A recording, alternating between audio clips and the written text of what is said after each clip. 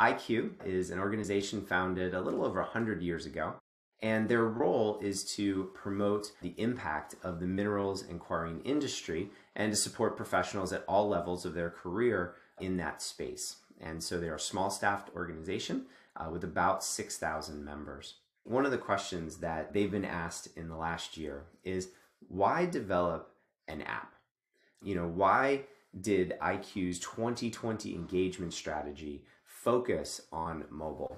And to understand that, it helps to understand some of the challenges that they were facing. They needed to modernize their technology and they needed to better meet the needs of their members. Uh, in 2019, their existing technology was somewhat fragmented. They did not have solid integrations between their platforms, and so this lack of data sharing really restricted their view of member activities and their needs. And this made it difficult to engage effectively with their members. Their CPD platform, which was to track educational credits, uh, in their words, was clunky and their servers needed upgrading. Their website wasn't really equipped to be able to develop a portal that could deliver personalized content behind a login. And of course, like many associations, they had limited resources, not necessarily 100% buy in of making change within the organization. And so they really knew that they just they needed to modernize.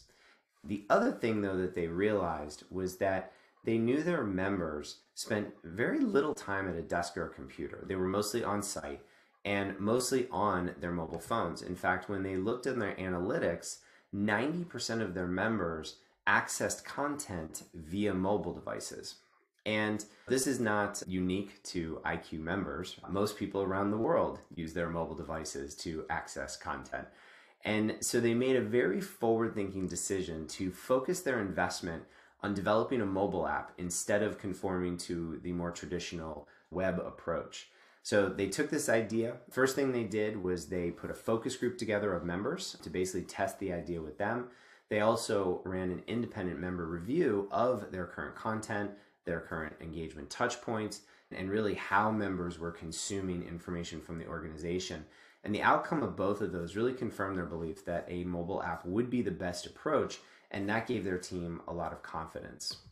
And so in early 2020, IQ selected RD Mobile as their app partner.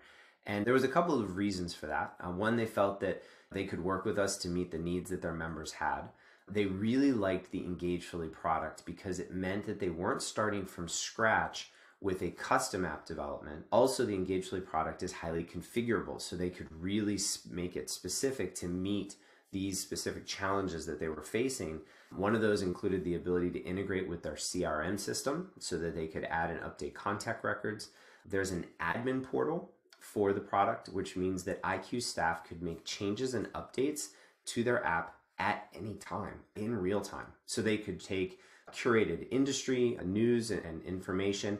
They could take content from their own sources, like their Quarrying Management magazine, and they could provide this information to the app themselves. And then also, because they did not have a large budget to work with, the Engagefully product was a very affordable solution to be able to institute an app for the organization. So their initial strategy was that they were going to first focus and capitalize on international growth opportunities. They were going to take workers from other countries and basically convert them into subscribers by offering them curated content. So this was a growth move for the organization. And then after they had rolled out that phase, phase two was going to be to roll the app out to their UK members. Well, of course, then COVID happened. And unfortunately, 80% of IQ's members were furloughed as a result of the pandemic. So this introduced a real crisis for the industry and also, it really brought new engagement challenges. One of the big ones was that IQ mainly communicated with their members via their work email, which many of those workers would no longer have access to. And so they knew that they would be unlikely to reach them when those individuals needed them the most. And so very quickly realized that this was not the right time to be focusing on international growth, that they needed to focus 100% of their attention on their existing community because they knew that they needed to be there for their industry at that time or it would have a negative impact not only on the industry, but on the organization as well. So they made a very quick decision to switch the purpose of the app to launch it for the UK members instead of for the international subscribers. IQ can now say that the mobile app is now the member portal and main digital source of content, guidance, and support. And it gives their members control of their experience and allows them to deliver personalized, automated content. So let's dive into the functionality.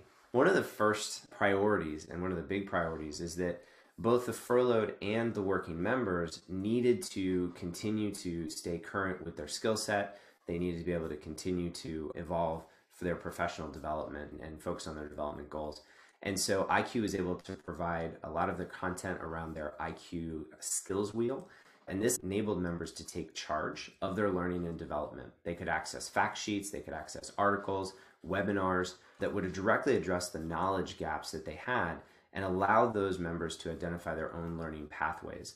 And again, all of this was easy because they could upload all of that data through the portal and then it would automatically sync to all of those member devices and allow them to basically provide this content very, very quickly and very efficiently as global conditions changed. They were able to respond very quickly to that.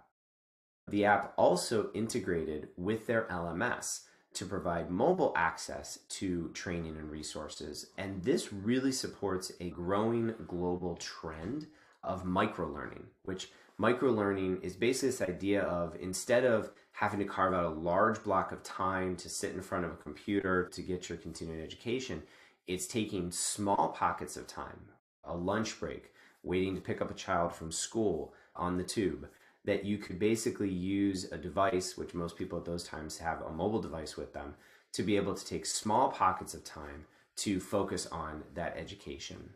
Because of the fact that as members were learning, they also had access to update their CPD record, that means that they could very efficiently take this information and be able to get it into the system. And then IQ even went one step further because it also includes a auto update tool so that when IQ members attended IQ virtual events, that would all be automatically recorded into their CPD record. It also allowed user accounts to be linked to member records. And so creating a single source of truth and then putting the members in control of their own data so members could update their personal details and it integrated with their CRM system directly. So that gave members 24 7 access to be able to do that. And then one of the most powerful aspects of a native app is the communication aspect of it. It allowed them to now have a direct, real time communication channel to the pockets of their members through push notifications and it did not require an email address. And so that was a really big deal. They could send information out with new content, changes in policies, industries, job situation. All of these things could be basically delivered via the app. And then the app also supports targeted notifications, which means that those messages could even be personalized. And finally, IQ put a very strong emphasis on mental health support for members. Through the app, members could get in touch with organizations and mental health charities so they really could help provide for the members emotionally during this time. And then in addition they also have been able to direct more people to the iq benevolent fund which is needed now more than ever. And this really helped address needs of members financially during this crisis.